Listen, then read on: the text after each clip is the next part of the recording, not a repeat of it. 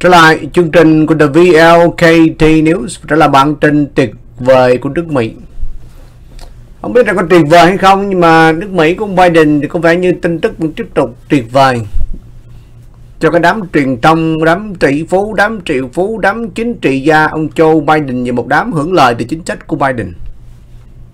Nhưng có vẻ không tuyệt vời cho chúng ta đâu. Nhưng mà chúng ta hãy coi đây là bản tin vui. Là bởi vì chúng ta sẽ trở lại những một ngày của một ngày nắng ấm tuyệt vời của nước Mỹ khi làm phát sẽ xuống, giá năng lượng sẽ xuống cho cuộc sống chúng ta sẽ ổn định trở lại. Với thời của Trump 2024 Tổng thống Trump đã mở rộng vị trí dẫn đầu so với ông Biden trong cuộc thăm dò của 2024 Ông Trump đã mở rộng cái khoảng cách dẫn trước ông Biden 5 điểm trong một cuộc đối đầu trực tiếp của cuộc tổng tuyển cử 2024 trong một cuộc thăm dò gần đây của Harris Act thực hiện.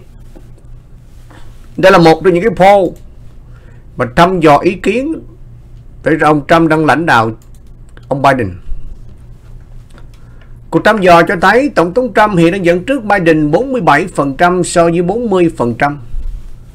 Trong những cử tri đã ghi danh, với 13% người được hỏi chưa quyết định Điều này đánh dấu sự tăng đáng kể cho quý với cái vị trí dẫn trước hai điểm trước đó của Tổng thống Trump. Được quan sát thấy cuộc khảo sát Harris Messenger tuyên bố ngày 1 tháng 11 khi 12% cử tri vẫn chưa đưa ra cái sự lựa chọn của họ.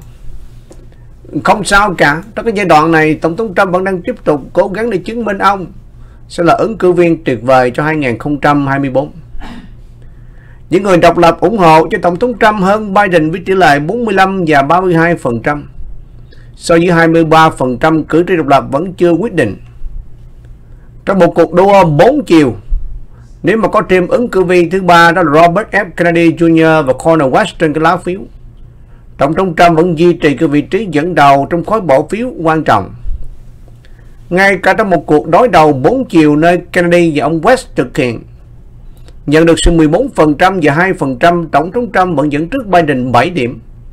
11% so với người được hỏi không chắc chắn về sự lựa chọn của họ. Như vậy, dựa vào cái poll này thì có vẻ như sự tranh cử của Kennedy không có tác động gì lắm cho Tổng thống Trump của chúng ta. Những kết quả này phù hợp với cuộc thăm dò quốc gia. Cái chiến trường bang gần đây cho thấy ông Trump đang dẫn trước ông Biden vài điểm. Một cuộc thăm dò của tờ báo New York Times cánh tả Siena College được công bố ngày 15 tháng 11. Ông Trump đang dẫn đầu những cái tiểu bang quan trọng như Georgia, Arizona, Michigan, Nevada, Pennsylvania và cái khoảng cách từ 3 cho đến 10 điểm. Bất chấp sự dẫn đầu của ông Trump, cuộc thăm dò cho thấy đa số cử tri không tin rằng hai ứng cử viên đảng lớn nên tranh cử một nhiệm kỳ nữa. Không sao cả, cử tri sẽ đối giờ với cử tri sẽ đối diện với hai cái sự lựa chọn rất khó khăn về cá nhân. Nhưng mà cử tri hãy đối diện với sự lựa chọn về giá xăng. Biden 6 đồng, một lon xăng. Trump 3 đồng 75 Biden, lãi suất bất động sản 7.75 Trump, lãi suất bất động sản 3.75 Biden, bảo hiểm xe mắc Trump, bảo hiểm xe rẻ. Thì hãy lấy cái đó làm căn bản về vấn đề cá nhân thì đương nhiên, rất là nhiều người không ưa ông Trump. 40% đảng Dân Chủ phản đối triệt tái tranh cử của Biden. Nhưng ông Trump 25% đảng Cộng Hòa bày tỏ cái quan điểm tương tự. Thì lời ủng hộ của Biden dường như chịu áp lực với 39% người được hỏi. Tán thành hiệu suất công việc của Tổng thống 57% không tán thành. Trong lĩnh vực của cử ứng cử viên sơ bộ tiềm năng. Tổng thống Trump vẫn tiếp tục dẫn đầu với con số rất lớn. Theo sau là DeSantis chỉ có 11%, Nikki Haley 10%, Vivek 4%. Về phía đảng Dân Chủ thì Biden có cái lợi thế vô cùng lớn với 65% ủng hộ. Trong khi đó, một số nhân vật khác ở 4%.